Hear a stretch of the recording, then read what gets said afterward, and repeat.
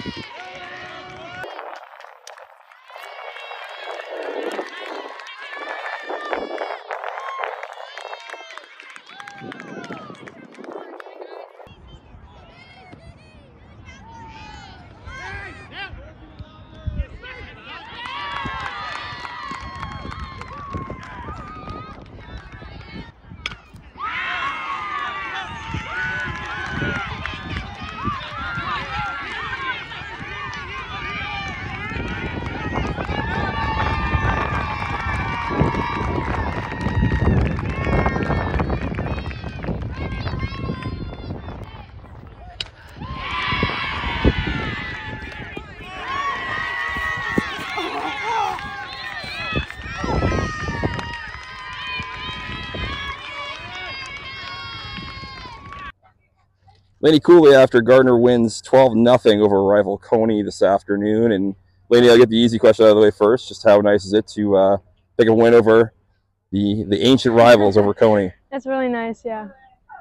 Um, bats really came alive for you guys today. How happy you? Obviously, you did well at the plate yourself, but how nice is it to see you guys seem to be heating up at the plate yeah. um, at the right time? Yeah, our energy is like really good right now. We're we have the skill. We're just picking it up and we're executing. So yeah. Defense seems to be pretty uh, solid behind you too. A lot of a lot of great to Taylor this afternoon. How nice is it to be seeing though that uh, consistency um, as well defensively? That's really reassuring as a pitcher to know that my team has my back and it's it's um, it's nice to have. So.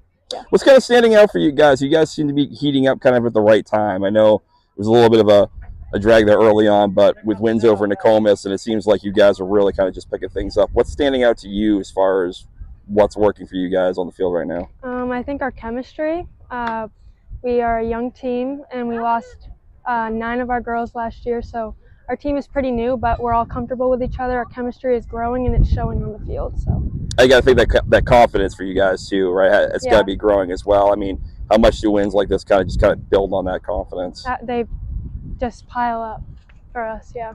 Excellent. Lainey, thank you so much.